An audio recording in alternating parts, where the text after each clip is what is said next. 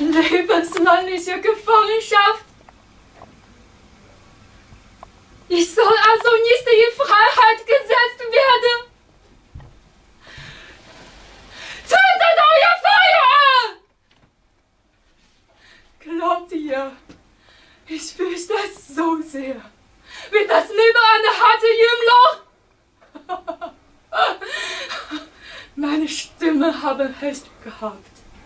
Ja, sie sagte mir, dass ihr Narren wäret und ich weder auf eure schönen Worte hören, noch eure Barmherzigkeit trauen sollte. Ihr versprachtet mir mein Leben, aber ihr habt gelogen. Ihr glaubt, das Leben sei nichts als nicht Mausetot sein. Nicht Brot und Wasser ist es, was ich fürchte. Ich kann vom Brot leben. Wann habe ich je nach mehr verlangt? Es ist kein Ungemach, Wasser zu trinken, wenn das Wasser ist. Brot birgte für mich keine Kummer und Wasser keine Betrübnis.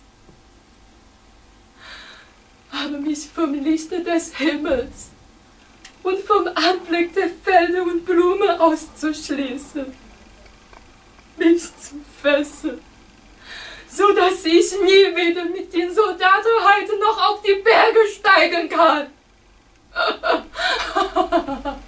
mich üble, feuchte Dunkelheit atmen zu lassen und mir alles fernzuhalten, was mich zur Liebe Gottes zurückführen könnte.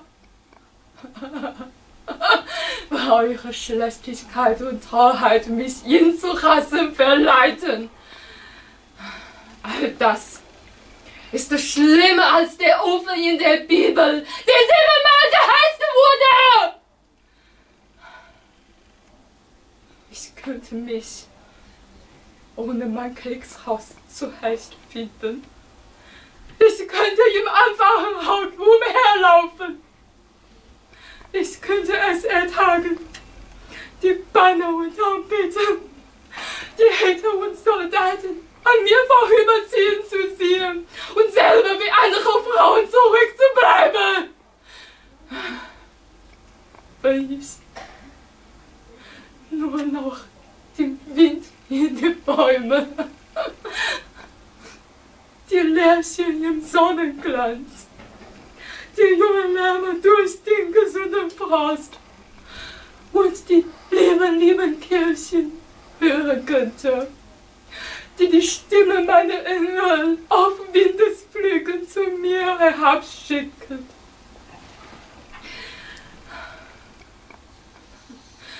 Aber ohne diese Dinge kann ich nicht leben.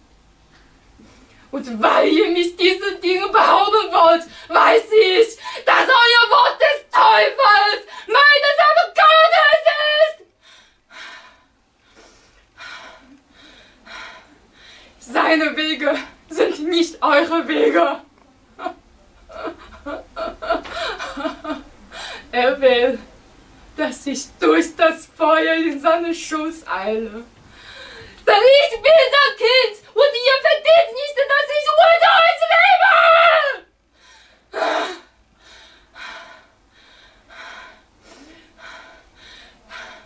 Das ist mein letztes Wort an euch.